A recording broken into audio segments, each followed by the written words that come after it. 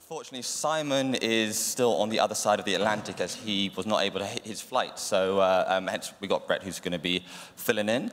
Um, first of all, guys, before we go into going into what is a digital bank, what is a digitized bank, how we can actually do that, I just want to know a little bit about what you look after on a day-to-day, -day, who you are. So, uh, Alice, first of all, who, who are you? Uh, who am I? I'm sure almost none of you ever heard about Ma French Bank since we're very new, very little. Uh, so we're the new digital bank of La Banque Postale that was launched last July. There are already 100,000 customers, uh, mainly under 38, um, mainly using their mobiles, of course. So what are we? We are a day-to-day -day mobile bank providing a current, a real-time current account with a few services to manage uh, your daily financing easily. Uh, with services such as instant loan, uh, smart saving, uh, new um, payment solutions, uh, and very innovative savings such as payment sharing with friends. Um, I'm going to put you on the spot a bit there. Does anyone in the audience from France by chance have a Ma French Bank account? Yes, yes to that gentleman over Great, there. great, welcome. Excellent. And uh, Karine, who are you? uh, Karine van Gennip, comme on dit en français, or Van Gennip in English, van Gennip in Dutch. Uh, so I'm Dutch. Um, I'm responsible for ING in France, which uh, is ING Wholesale Banking, so loans to big enterprise, and it's the old ING Direct. Um, and I think ING Direct, um, we could say, is one of the first fintechs um, because we started 20 years ago here in France and even longer ago in other countries, um, with this focus on customer experience, with this focus on really doing what's best for the customer. And that's what we've been trying to do for the past 20 years here in France and in, in all the other countries. And today we call it ING because we are already direct. And we're a digital bank, which means we have no branches. Um, it's all digital. Of course, we have a call center as well, but uh, nothing physical. Excellent, excellent. And uh, Brett, obviously you're here with multiple hats on. Yeah, um, so I am the the executive chair and founder of Moven, which was the first mobile challenger bank in the world. Um, we launched the very first account opening in, in, in a mobile app for the, you know, any, anywhere in the world. Um, we did the first contactless uh, technology where we had stickers that we stuck on the back of phones back in 2012 for contactless payments. This was prior to Google Pay and Apple Pay. Um, we got the first patent in financial wellness globally, um, so we, we've done that. We've got about a, uh, two and a half million users in North America right now, but um, most of our business these days is licen licensing our technology to banks around the world. So we've got about 10 million users overall on the platform in 15 different geographies, but most of that traction is coming through partnerships with banks around the world, such as uh, TD in uh, Canada, uh, Bank Central Asia and Tunaiku in Indonesia, Selcom in Tanzania, Yandex Money in Russia, um, Bank Atlantida in LATAM, etc. So we're helping banks go from banks to digital. Excellent. Right, I want to get into um, my background. Weirdly, is uh, is film production. You can see my name in the credit of the first Captain America film. Um, but when it comes to editing in film, there's sort of two different types of software. There's Avid, if anyone's familiar with it, which is literally a virtual machine of uh, big cogs for spooling physical film. It is a virtual version of that. It's a digitized Steenbeck machine, which is kind of, kind of nuts. And then on the other side, you have Adobe Final Cut Windows Movie Maker, which is a truly digital video editing system. And there's a big difference between the two, um, between having simply a digitized process and something that's truly digital. Um, so with that in mind, I want to put to the panel where do you see the difference between digital and digitized? And it's very easy to kind of write off digitized, but there's, there, is, there are moments you need kind of both. So what's your sort of viewpoint on digital versus digitized? Uh, if I go first, maybe I would take the example of La Banque Postale. Um, as we all know, customers have new expectations. They want services that are real-time, personalized, uh, insightful, and they want, they want it with a very well uh, experience.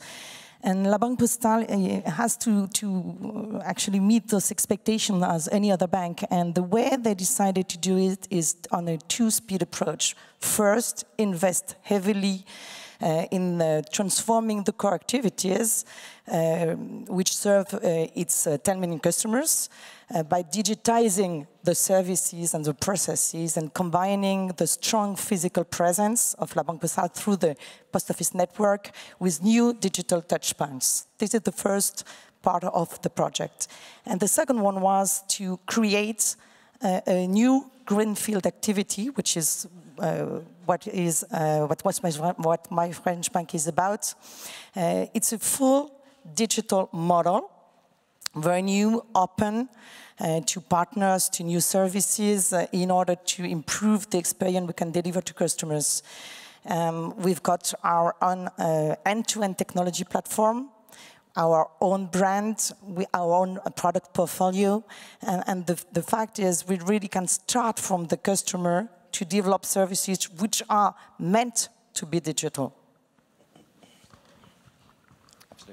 Um, yeah, I think when I, when I think about digital, as I said, when we started ING Direct 20 years ago, the whole aim was to be at that time still online, huh? but we now, now it's digital, but to do it without branches, to do it without physical touch points.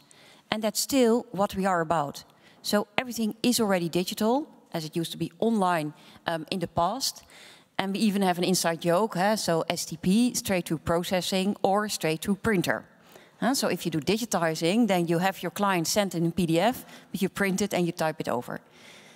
For the client, it might be the same experience, um, but it's really different uh, in the back office.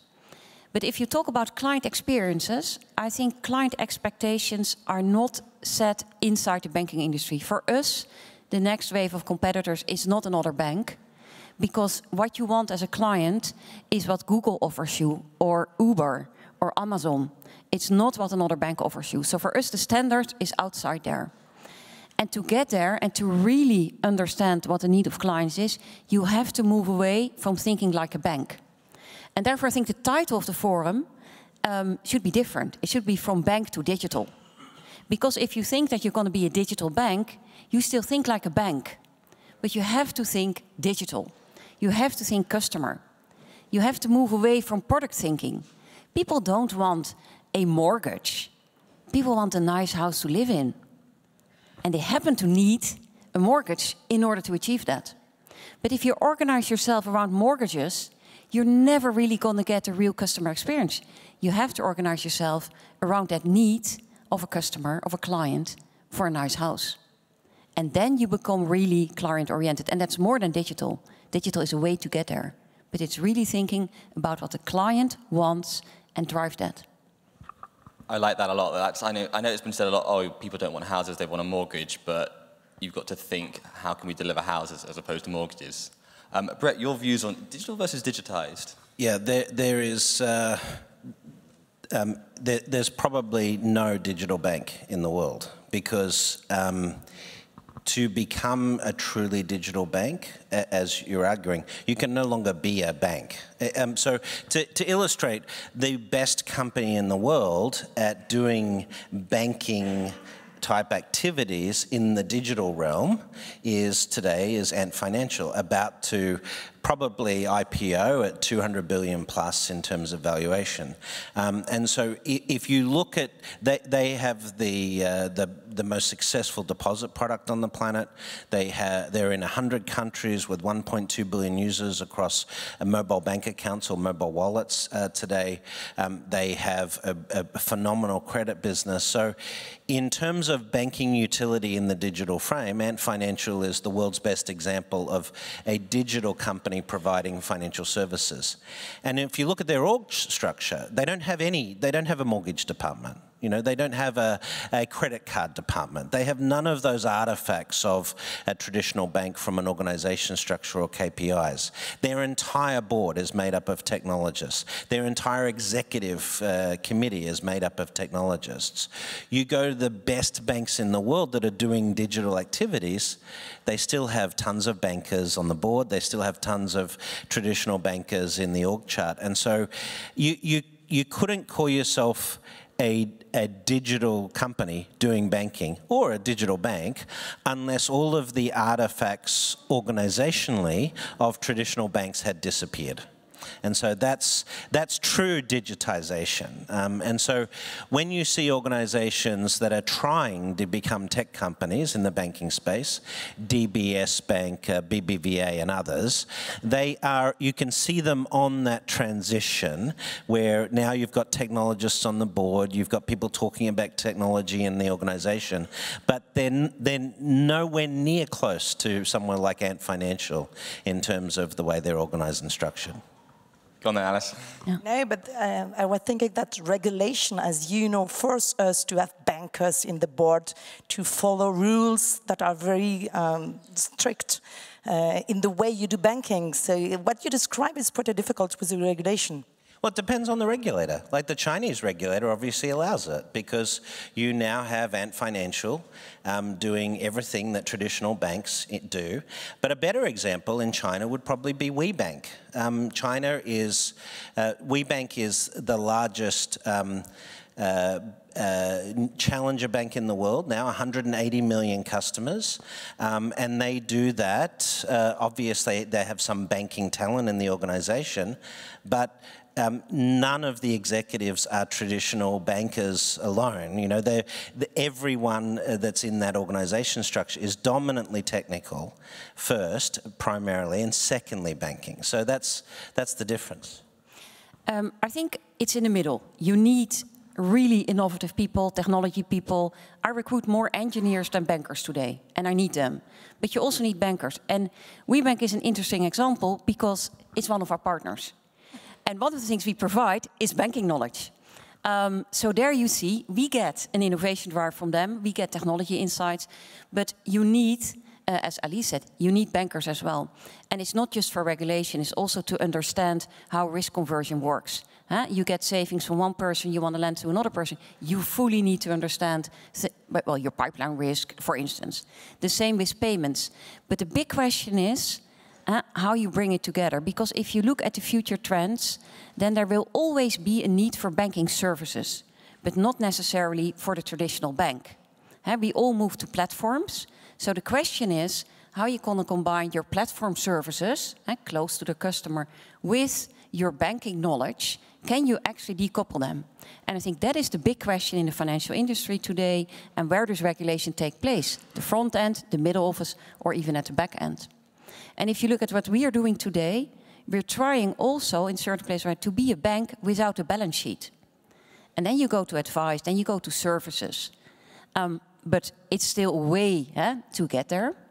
But if you look at what as a customer you do, you look at your screen all day, you don't want to be bothered with, you know, your financial updates. You want to do fun stuff, you want to do your social media. So how as a bank or as a financial service provider or as a digital company, how do I make you actually go into your own financial situation and become aware of what you need to do as a client? Because you need to be aware of the savings rate and your investment portfolio and your pensions, because you need to prepare for the future. And that's the big question today how to still engage clients into their own financial future. And as a provider, where do you play? Are you going to play as a platform at the front end, the middle end, or the back end? Maybe just to come back to La Banque Postale, um, when they decided to launch this digital bank, uh, which was not even called Ma French Bank at that time, they decided to recruit me. I'm not a banker from the very beginning. I come from the telco industry, but my deputy CIO is a, a traditional banker. So we, we combined those two experiences to build this new bank let's look at how we can get there because Google is coming, Chinese big, the big tech is coming, big tech is coming, and you don't want to end up stuck on a platform that's 40, 50 years old. So how can a, physically, how can a bank become, become digital? Um, is, is anybody in the room from TSB? Thank God for that, right. Obviously TSB, absolute cluster of things that went wrong. So how can you, as a big traditional bank, become digital physically? Do you go down the sort of speedboat route, or do you do a, do you attempt a kind of big bang migration? How do you kind of move your platform across when it comes to core replacements? Um, I think what we're doing at ING is, is both. We are already digital uh, in many countries. So we move from online to digital, which is a smaller step than from physical to digital. Um, but we're also building cross-country platforms. And one of them is for the French market, um, combined with the Spanish, the Italian, and the Czech market. It's called Maggie, or Model Bank, we call it. And we're there building a platform to serve multiple European countries digitally. And we use the lessons learned from the different countries to build the best bank, the best aggregation layer um, of tomorrow. And we've been on it now for a year and a half, I think. Um, so it takes time, um, but we're doing it. We're building that platform. We still have to roll it out. Do you think that um, that kind of... And by the way, my best engineers are on it. Eh? So that's something we haven't touched yet. If you want to become digital, if you want to innovate yourself, you have to be ready to hurt yourself a little bit and say, okay, I'm going to send my best people to do this new innovative thing. I'm going to kill my old uh, way of working um, to favor that new way of working and, and get that out of the door. So to compete with the likes of Ant Financial, do you think that's the, the most effective approach, kind of again, piece, piece by piece that you're doing at ING? Uh, I think the big question there is more um, of one single European market. So if we would do this in the US, we would suddenly have, you know, a big market, or in China, and that's a bit the drawback of being in Europe, where we still don't have a full single market. The regulation in France is different from the Netherlands, it's different from Germany. So that is holding us back. It's not so much uh, whether we can do it or not. If we would do it in the US, immediately we would have a large market. Um, Alice, obviously, Ma French Bank, you are... Actually, we're in France, and up to now we remain in France. Uh, so the approach may be pretty different. Um, the, the, really the question is for a traditional bank is how do you foster innovation, change your culture? And it's pretty difficult. And, and, again, if I take the example, what I know, the example of La Banque Postale, uh, they decided to create last year uh, an uh, started incubator called Platform 58, which is there today, so you can go downstairs and meet them. Uh, the, the, the, intention was really to play an active role um, in the fintech ecosystem in France and, and, foster innovation in France with French fintechs, and also to help the teams of La Banque Postale uh, um, think a different way uh, find that different methods to innovate and to serve customers can be developed, and foster also uh, cooperation between those fintechs and La Banque Postale. Um, again, it's a way, uh, it's an approach which is pretty based in France, but we, we leverage our um, full potential. Because the, the way that, that your you're, you're, a speedboat. I think that's, that's, such a cool way of doing it, where you can almost be ring-fenced. You know, La Banque Postale can try lots of quite risky, in some cases, things that they couldn't try across the whole group, and then bring them across. Yeah, exactly. And Ma French Bank has also a role for La Banque Postale to be a pilot and to develop, experiment, innovate, and they ask us to then uh, be able to have this innovation feedback loop to help uh, the teams of La Banque Postale to evolve. Absolutely. Uh. So, you know, at the end of this decade, 2030, when we look back, we'll see three sets of players delivering financial services through a tech, predominantly through a technology layer. There'll be traditional banks who've become digitized in some form. You'll have uh, fintech specialists who have developed key technologies uh, and got rid of a ton of friction, you know, including unicorns and challenger banks and big brands that stand on their own against uh, traditional players, and tech giants who become the gatekeepers of the um, technologies that deliver financial services day to day. And so if you think about, you know, obviously fintechs and techs are dominantly tech, so then how does a, a, a bank survive in that ecosystem of the future? And it's their ability to work with those players in that ecosystem is essential. So um, if you're a standalone bank and you think we're going to do it all ourselves, then you're really missing the point of the changes that are happening here. But if you say, you know, how do we partner with these technology firms to further our progress, be more uh, collaborative? Um, you know, the, the, I think one of the easiest ways to assess a bank's true willingness to digitize is where they say, oh, well, there's a fintech that could do that. Let's let's uh, bring them into the the um, the fold instead of going, well, let's try and copy what that fintech do do, do and, and build it ourselves. Because you know, if you look at say Bo in um, you know the the UK, you know, compared with the challenges, um, Bo has arguably you know not produced significant innovation of the market. They're following on from the challenges in the UK, but the more critical element of that is it took them five times as long and cost them 20 times as much as Monzo to launch basically the same. And so you have to look at that and say, why would you do that instead of um, you know, partnering with someone who's actually better at producing that innovation than you are? Yeah, ING's got to get in there because you guys yeah. partner like no business. Yeah, no, that. So we we we have now 190 partnerships. Um, we also closed more than 50. So fail fast. That's very important as well because if you go for a lot of those cooperation opportunities, you also have to be able to decide if it's not working. If it's not working, you stop it. Um, but what I see happening uh, here in France um, is that it really we need fintechs as a bank, but the fintechs needs us as well. Huh? If you want to roll out your great innovation or your sweet spot in the client experience, and often I'm jealous huh? when I see a fintech, I'm like, ah, we should have done it. But that's where we partner with the fintech. But the fintech needs our client base, our regulation, um, to roll it actually out and make it happen across uh, different countries. And what we did in France here, for instance, we started an instant loan uh, platform for SMEs. We did it with five fintechs. And indeed, it took us, uh, well, less than a year to build, but it went very fast with the different fintechs. But to get the different fintechs to cooperate, not just with us, but with each other, that was also a challenge. It is, I confirm. And, and comes back to culture right? So if you look at organizations that are, you know, have a chance of surviving the sort of disruption of fintech and tech giants, it, it really does start with culture.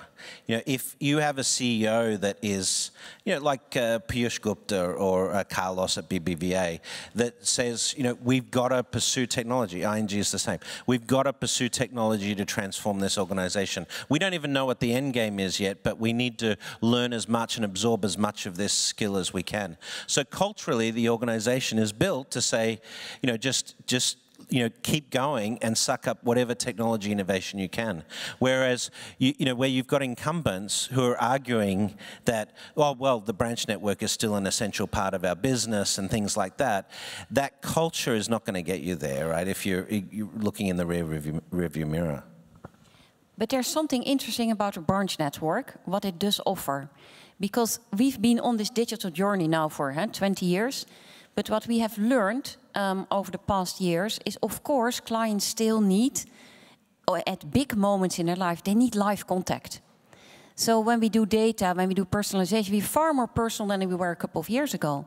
But the client needs, when there is a big decision to make, needs personal contact. So we have a call center, of course, but about a year ago we started video calls.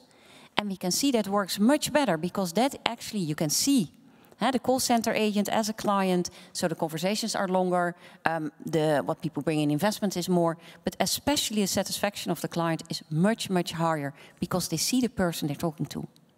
And that we should always be able to provide, whatever way, that live contact at important moments. On that note, there, I know, Brett, I know you're a massive fan of branches, so um, I, I never use cash, I never use branches. My grand does. And a friend of mine runs a restaurant chain, and he is constantly having to use cash from tips, cash all the time. So you also have to look at your customer and whether or not they need they need a digital bank or whether they still need that multitude of uh, physical presence. Um, obviously, La Banque Postale has got quite a, a large physical network. Do you find at uh, Ma French Bank you, you're able to partner quite effectively there? Actually, uh, when you open an account at Ma French Bank, you can do it both way. Either uh, at a post office, and it takes you only 10 minutes. Uh, the, the post officer has a small device which looks like your smartphone and it does it with you, which is very helpful. What you're saying is very true. And not always uh, at important moments, but also when things are difficult and, and to scan your ID and so on, it may be difficult for some of the customers, which doesn't mean that they won't be able to follow their account on their mobile. They will be able to do everything on their mobile, but onboarding may be difficult. So we help them at this difficult phase. Of course, they can also do it digitally, uh, by themselves on their mobile or on their laptop. So we welcome them at the post office. And secondly, we've got a call center based in Lille, in France, uh, which is there to help them. It's, it's a human contact, not physical, but a human contact. And we're pretty sure that this human presence gives reassurance to the customer. It's, it's essential for us. And since we are La Banque Postale and we have this strong presence and strong confidence, we had to be there to help customers with a strong customer care it, it was an obligation for us. The, the problem, you know, we could obviously descend into a discussion about branches um, here, um, but just very briefly, the key problem branches have in a digital world is the economics don't work. It's expensive. Because, you know, you, you have, for those couple of instances where a human contact is going to be beneficial, the business case for a branch don't hold up. There's just not enough traction. There's not enough footfall in the branch to make them economically viable. And so here's the key problem you get if you're a bank trying to digitize and you've got this incumbent behavior, you know, customers who are used to your branch network, moving them off that to a predominantly digital framework of customer service is a, is a real challenge. Challengers don't have that issue. Challenger banks don't need branches to do, you know, all of the day-to-day -day banking that they provide now, and they, they are not going to need to deploy branches to be competitive. And so, um, you know, the, the argument over do you need branches to service customers has largely been solved. You know, the reality is there's 150 challenger banks around the world, and none of them onboard customers in a branch. And what we've learned from that is that produces a dramatically different cost of acquisition acquisition, one fiftieth of the cost of acquiring a customer in a bank branch. And so if you want to scale up a financial services organization in the digital world, you wouldn't do it with face-to-face -face interactions that require a wet signature. It just doesn't scale fast enough, and VCs will never invest in banks with branches. Yes, but the advantage of La Poste and La Banque Postale is that those point of sales are not that's, dedicated If there's an existing physical banks. network you can co-opt, then I, I, think that's fine. But uh, you, again, I just be very clear. In the last 10 years of fintech um, growth that we've seen, you've never seen a single VC invest in branch networks. And they don't do that because the economics don't work at scale. But to your point, Alice, I think like Starling yeah, Bank post offices UK, are not dedicated to banking, yeah. which is an advantage. Yeah, you, I say you can co-opt it, right? Exactly the same no, as Starling Bank in the UK. They do post, actually. Again, I think the the truth is in the middle. Uh, so I'm glad you're sitting there. Eh? Yeah, yeah, yeah. I'm, I'm the bridge here. Yeah. so um, we are a digital bank. We don't have branches here in France. We do have branches in our old home markets, the Netherlands and Belgium. Um, and what we see also there is branches, people hardly go there anymore.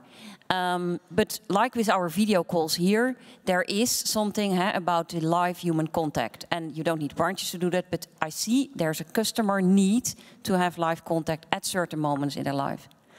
But what I found personally a far more intriguing question, and it goes a little bit back to what you both said, is I live in a digital world. I'm a digital navy.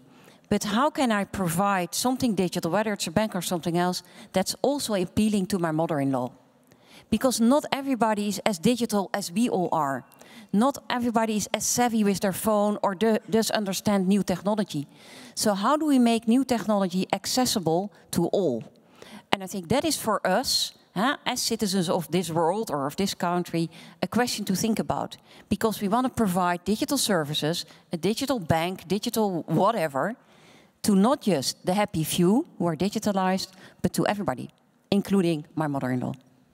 That's exactly what we. Well, that actually brings us to the, the sort of final area I want to touch on, which is which is the customer, because my father sent me about a year ago saying, uh, sent me a, a Daily Mail link saying, have you heard of this new thing called Bitcoin? I think it's going to be quite, quite interesting. And I was like, that's, that's incredible you haven't heard of this and, you know, it's, it's 2019. Um, so when it comes to the customer, is a customer even aware if you're a digital bank or not, if, they, if they're using an app? Are they even aware if you're a truly sort of digital app? So let's, let's, let's look at the kind of customer point. I think the customer is aware. I think they now expect any bank or any large corporation to have a well-working app. And we like to provide, of course, the highest standard, but people expect um, something in the middle there to already work. And not just for a bank. It's the same whether you do a hotel, whether you do online sales, whether you're a travel agency. If it's not working anymore, then basically your customers easily tune out. They also expect what we traditionally call omni-channel service. So when you go into the app and then you go to the call center or in an existing shop, you expect to that people know what you're doing as a customer. Um, but what is far more intriguing is actually what the customer is going to expect two years down the road, because that's the thing we need to build today.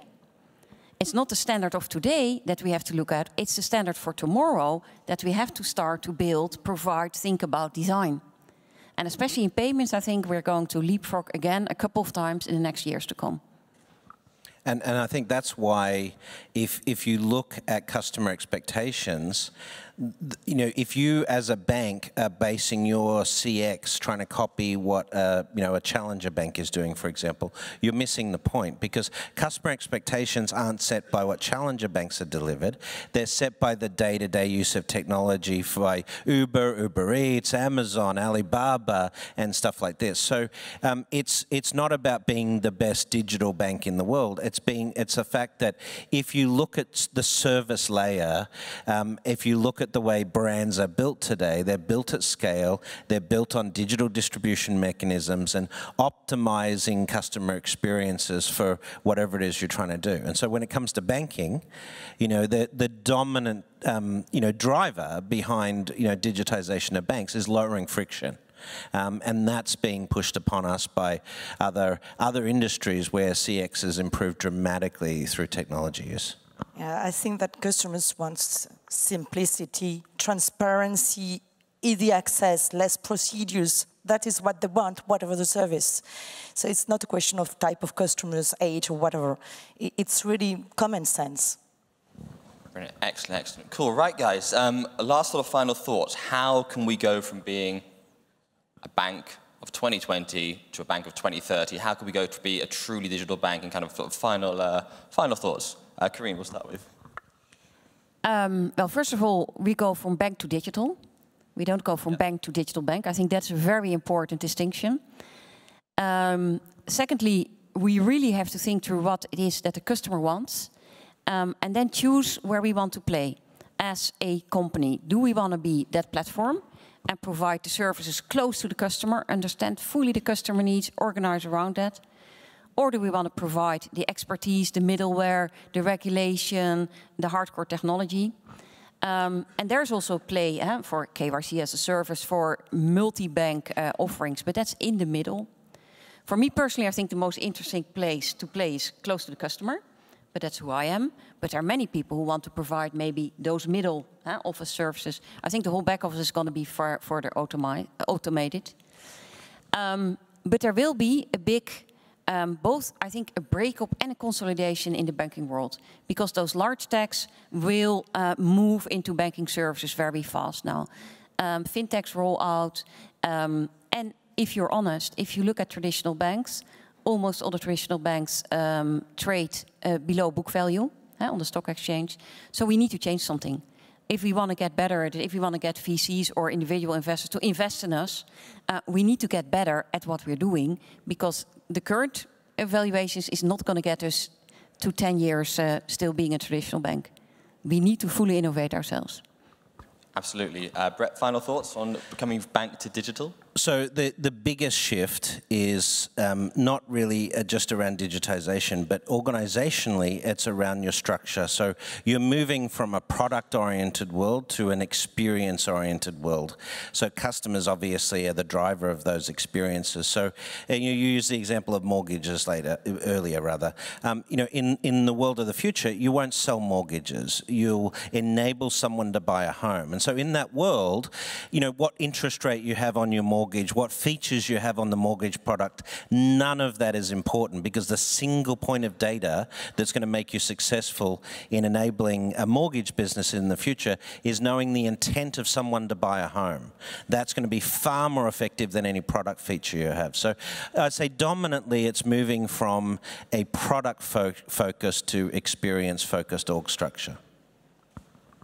Um, much has been said. Um, I think we, we don't know how it will evolve. Uh, the world of banking has evolved significantly in the past years, and uh, what I'm sure of is being digital uh, position us in a much better way than, than not. and if you want to deliver the services you were described in the future, you have to know your customer, get the right data, be able to use them, be able to customize your services to, to answer their needs. Excellent, excellent. Um, also going down to culture. Um, that's the thing. If you change that at the top, then it all filters down.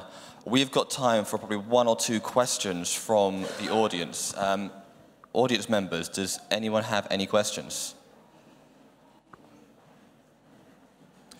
In that case, I've got to come back with you on one other thing, Brett. Bank of Ireland. Bank of Ireland's branch network, they are aiming to compete with WeWork as uh, for their SMEs, so all the SMEs can use their branches. Way to kind of monetize the branch network, maybe? That's, that's a problem looking for a solution. That's saying, we've got all this real estate we used to use as bank branches. No one's using them as bank branches now, so what do we do with this real estate to keep it open? I, you know, that's, I, I, don't think that's now. It might work, you know. I mean, um, Capital One in the US has all these cafes um, that they've produced. They're not particularly great at coffee, and they're they're reasonably good at banking, but you know, it's sort of like as they've transitioned. This comes back to, you know, what do you need, the, what's the role of the bank trying to do? And to your point, it's really about providing people with that level of comfort at certain key points in their life. So the real question is, how do you deliver a solution to that problem that's economically viable? And I think the use of video and artificial intelligence and all of those things will go a long way to doing that absolutely like with the video calls. Yeah, and maybe maybe one remark about real estate. Um, we have just opened a new head office in Amsterdam, and we opened it uh, to fintechs, to startups, to share our workspace. And that's one of the most inspiring experiences I've had working there for one day or two days. I'm in France, so I'm not there that often. But you're actually sitting there and you're surrounded by independents, by uh, startups, by fintechs. And that atmosphere that that creates, that's very inspiring and that gives us a lot of drive forward to do things differently. And at Ma French Bank, we, we share a same building with the incubator platform, which, which was very, very useful for the teams to meet, share, discuss, help with each other. Culture, exactly. Cool. Awesome. Thank you uh, very much, guys. Can we have a big round of applause for our panelists?